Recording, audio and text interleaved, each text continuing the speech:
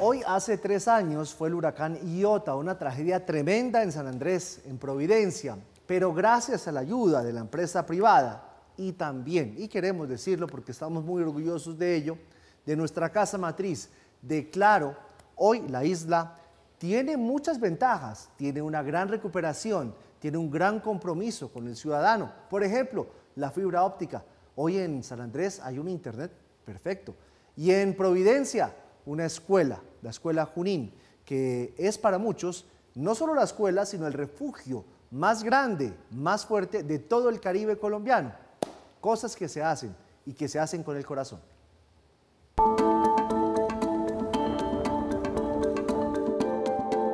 En la historia reciente de San Andrés hay un antes y después del huracán Iota. Oiga, hermano, eso fue bastante desagradable, hermano.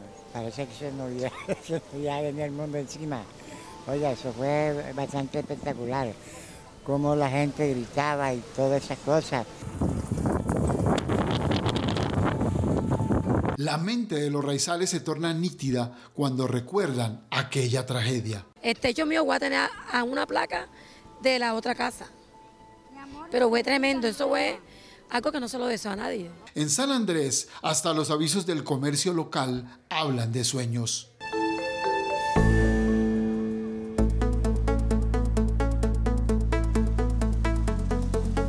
Colombia le puso el hombro a la reconstrucción de la isla. Levanta cabeza gracias a un revolucionario programa de conectividad. Hoy tiene el segundo internet más rápido de Colombia, solo un 8% menos que Bogotá. En el 2020, San Andrés estaba en el penúltimo lugar de conectividad, tenía como 2 megabits por segundo de velocidad promedio. Hoy estamos superando los 155, es decir, 70 veces más prácticamente de velocidad y más de 70 veces. Y eso lo que significa es que San Andrés está en segundo lugar de conectividad solo después de Bogotá. Imagínense ustedes, territorio eh, pues del archipiélago conectado con fibra óptica y con esta gran ventaja para todas las personas que viven aquí, porque pueden tener una ventana al mundo a través del Internet, lo mismo para los negocios, lo mismo para las autoridades. Los milagros tecnológicos existen. Mauricio Liscano, ministro de Tecnologías de la Información y las Comunicaciones, visitó la estación terrena y data center del cable submarino de Claro que conecta la isla. Son 727 kilómetros conectados al cable submarino que sale de Jacksonville, Estados Unidos. Uno de ellos el que tiene Claro Colombia y la verdad es que hoy podemos decir que San Andrés ocupa los primeros puestos en número de conectividad. Estaba en los últimos puestos hace varios años, después de Leticia, y hoy ocupa uno de los primeros puestos. Todavía tenemos que hacer esfuerzos. Los complejos turísticos de la industria hotelera sobresalen como barcos en medio del mar.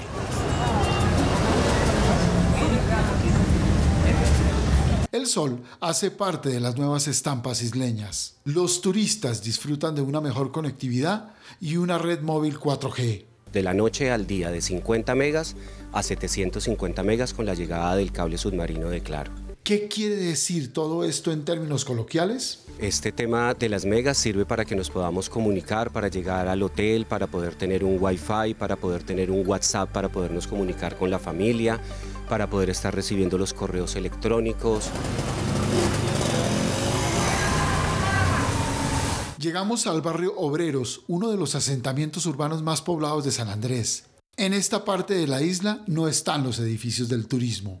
La abogada Cindy Bloom trabaja en la gobernación del departamento. Después del IOTA, por fin pudo distribuir su tiempo entre la familia y el teletrabajo. Cuando llegó claro que ellos eh, ingresaron a la isla, ya los, primero que los costos bajaron, la competencia y la velocidad es, es otra cosa. Ya podemos incluso aquí en la casa estar conectados en el celular, en el smart, en el televisor, en mi hija en la tablet y estamos sin ningún problema. Los sectores salud y educativo también disfrutan de un mejor internet de fibra óptica a tarifas competitivas. Me permite realizar mis clases y tener las conferencias web eh, en vivo de manera eh, directa con los estudiantes.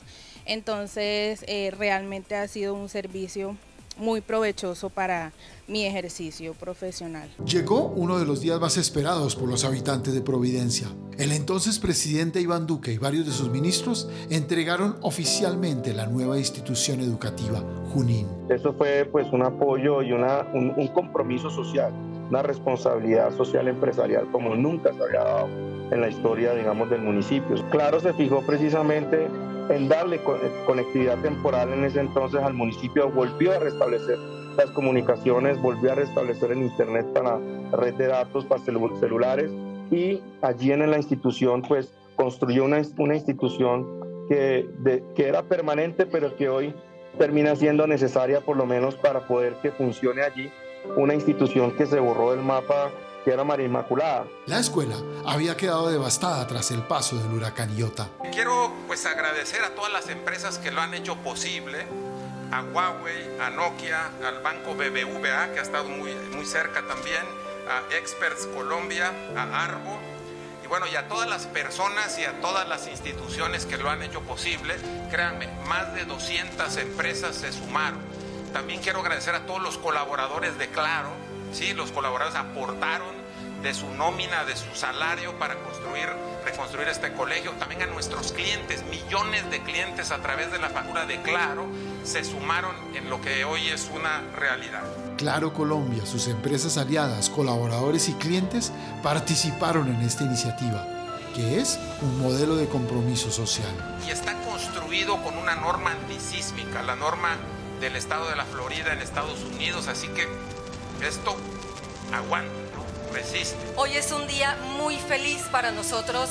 Yo como la rectora de la institución, mis profesoras, mis estudiantes, muy agradecidos que enero 2021 se pronunciara claro llamando a la institución para hacer la reconstrucción de nuestro colegio. Lo que hoy nos da la posibilidad por primera vez en la historia. ¿Qué quiere decir por primera vez en la historia? De tener un Internet de calidad, de tener televisión también de calidad. Nosotros antes de la llegada de Claro, nosotros pagábamos por una o dos megas más de 400 mil pesos. Hoy tenemos la posibilidad de tener 300, 400 megas a un precio de menos de 300 mil pesos. Ahora, 100 niños se benefician de esta escuela que además cuenta con conectividad gratis.